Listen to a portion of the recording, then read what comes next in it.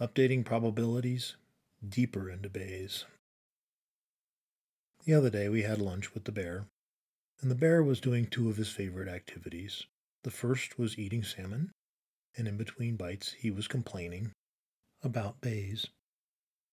He said, I hear terms like updating probabilities and priors and posteriors, but Bayes' law is an equation. What changes? What are they updating? Before and after what? Good questions. And spoiler alert, this is the picture that we're going to go to, but we're not going to get there just yet. Let's start with Bayes. Bayes' law literally says the probability of A given B equals the probability of B given A divided by the probability of B times the probability of A. There are three ways to use Bayes. All of them are actually right, but two of them really miss the point, and only the third produces magic. Unfortunately, we're going to go about this the long way round.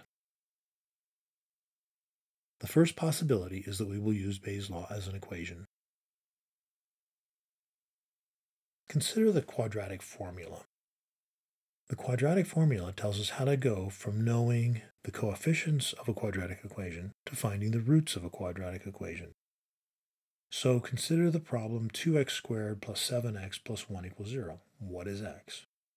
We start with the quadratic equation, substituting in 2, 7, and 1, and simplifying, we get that x equals either minus 0.15 or minus 3.35. Similarly, Bayes' law is just an equation. Bayes' law tells us the probability of A given B equals the probability of B given A times the probability of A divided by the probability of B. So if probability of A equals 0.3 and probability of B equals 0.6 and probability of B given A equals 0.4, what's the probability of A given B? Solution, start with Bayes' law, substitute in the numbers, simplify, we get 0.2. Note that everyone who learns Bayes' law starts out using it like this. But this is filling in information. Before using the equation, we did not know what the probability of A given B would be, and afterwards we do know. But consider that before we used the quadratic formula, we didn't know what, what the roots of x were, and afterwards we did. Are we updating our values of x? Is there any magic here? Note that there's more math in the quadratic equation than there is in Bayes' law, so the quadratic formula should contain more magic. Using Bayes' law as an equation is completely valid and completely true but it's missing something. The second way to use Bayes' law is to reverse conditional probabilities. So we could consider it as a function that converts the probability of B given A into the probability of A given B. We could think of this as reversing the conditionals, or even as a form of time travel. The probability of A given B is the reverse of the probability of B given A. In this case, we're interpreting the probability of A given B as some function of the probability of B given A. We're going to multiply it by a constant C, where C is the probability of A divided by the probability of B. Here's an example. Let's say you work in a biology lab, and your boss comes to you one day and says, We want to know the probability that an owl lives in an oak tree. And you say, How am I going to do that? And he says, Well, go to our forest, and every time you come to an oak tree, climb it and see if an owl lives there. And you think, That's a lot of work, but okay. And you happen to know that in this forest, the probability that a tree is an oak is 0.3.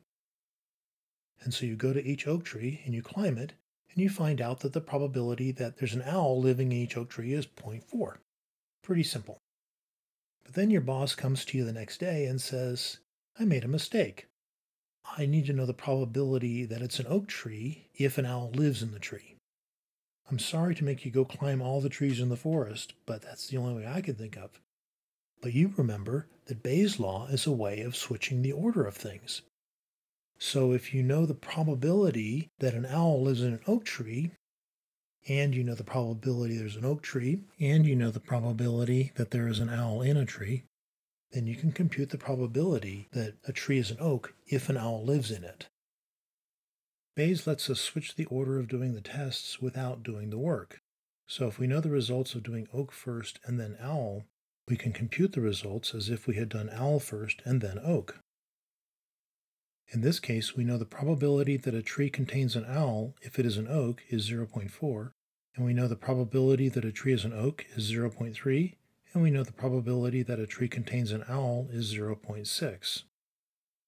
So to compute the odds that a tree is an oak if an owl lives in it, we start with Bayes' law, then we plug in the assigned probabilities, and we simplify.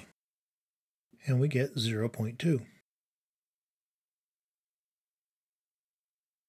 Once again, this is literally what Bayes' law says.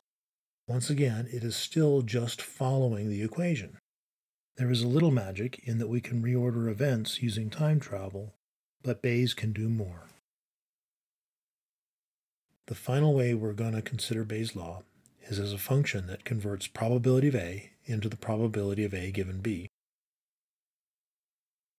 To, to compute the probability of A given B, we're going to multiply the probability of A times some constant, where that constant equals the probability of B given A divided by the probability of B. Before event B, A has a certain probability. Event B is some new experiment or some new observation. And after this event, A has a new probability given that we have seen B. Event B is going to cause us to rethink our reality before event B, we have some property A in our world. For example, before event B, I have a certain probability of having cancer. Event B is going to happen, and event B is not going to change the probability of A. Event B is simply going to be a new event, and there's a certain probability that it happened. There's a certain probability that B overlaps with A, and there's a certain probability it doesn't. So in this case, B might be I wasn't feeling well. I took a test to determine whether or not I have cancer or We've learned some new information from B, which is that we know that there's now a certain probability that A and B aren't both true. We know there's a certain probability that B is true and A is false. And here's where things get interesting. This is the application of Bayes' law the event B happened. And so everything that isn't B disappears. If I took a test to determine whether or not I have cancer and it said yes, then the fact is that that test said I had cancer, whether or not I actually do. But I now only live in this world where B is true, because not B did not happen. This is the application of Bayes' law. Now, to explain this a bit, let's put Bayes' law up here the top part in blue, or probability of B given A times the probability of A equals the probability that A and B are both true, which is what that diagonally hashed area is. And the probability that B was true is what the blue area is. So Bayes' law describes the new realm that I live in, given that event B happened. So I now live somewhere in this little blob or the probability of A given that B happened. But given that B happened, I can expand this out now. The fact is is that B is now my universe. I don't yet know exactly whether or not I have cancer. That's the hashed area. But B is my reality. This is a zooming in. My old reality is gone. And then finally, I can simplify the description of A intersect B to just A. and the entire universe, B equals true. I can go from saying probability of A given B to just the probability of A given that B is my new reality. So essentially, I have renamed my reality. I now have changed the probability of A.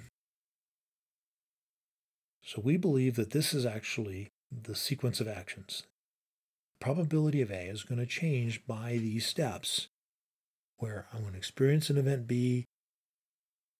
Because B happened, my reality now only focuses on that narrow part, but I'm going to expand that to be my whole reality.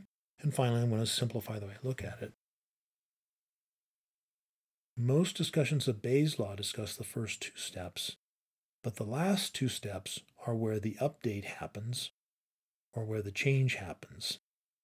We could say that before B happened, the probability of A was one thing, and after B happened, the probability of A was something else. So event B exposes a new reality, and Bayes' law calculates precisely how our understanding of the reality A changes based on the event B. This case of entering a new reality is where the magic of Bayes happens, because we can use it to transform knowledge about events into improved estimates of something. For example, a series of tests into a better understanding of whether I have cancer, or a series of searches into a discovery of lost treasure. Bayes brings us closer to the truth. I might be able to ignore the event, but I cannot undo the event. This is what Bayes really means. Side note on terminology probability of A given B is called the posterior, probability of A is called the prior, because we're going to convert the probability of A into the probability of A given B. The fraction probability of B given A divided by the probability of B is called the Bayes factor or the update factor. The numerator is called the likelihood because it's how likely was B to happen given that A was true. The denominator is called the evidence because it's what literally happened. It's what we saw. It's the evidence that occurred.